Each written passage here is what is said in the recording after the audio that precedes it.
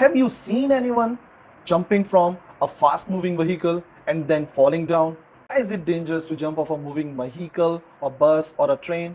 Want to know the answer? Keep watching the video. We will be back.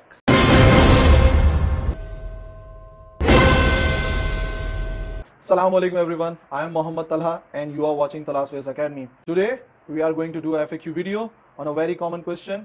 Why is it dangerous to jump off a moving vehicle like bus, train or etc. First of all, see what is the concept behind this question. The concept is Newton's first law of motion that is law of inertia. What is law of inertia?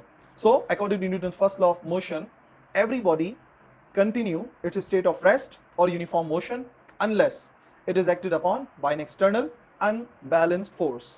So this means everybody in the state of rest tends to continue its state that is state of rest and everybody in a state of motion tend to continue its state of motion. This law is also known as law of inertia because this property of the body uh, by which the body tends to continue its state of rest or uniform motion is known as inertia. So this is the main concept behind this question. So let's go back to our question. Why is it dangerous to jump off a moving bus? Let us consider we are in a moving bus, in a fast moving bus. Our whole body is in a state of motion and uh, due to inertia our body will tend to continue its state of motion. But when we jump from a fast moving vehicle bus or train then uh, the feet will touch the ground and they will stop.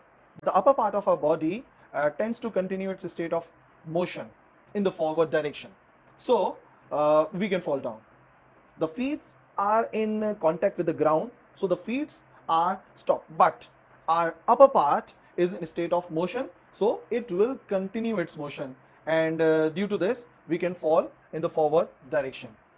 This is why it is very dangerous to jump off a moving vehicle. And it is more dangerous when we do this in the backward direction. Because if we fall uh, in the forward direction we can save ourselves. This is why it is dangerous to jump off a moving bus hope you understand the answer so avoid this and be safe and share to others whom you care.